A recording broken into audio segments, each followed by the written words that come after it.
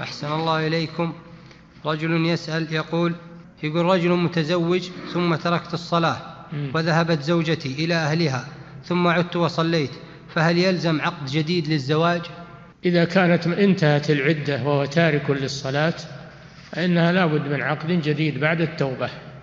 أما إذا كان تاب إلى الله قبل أن تخرج زوجته من العدة فإنها لا تزال زوجته ولا تحتاج إلى تجديد عقد. نعم.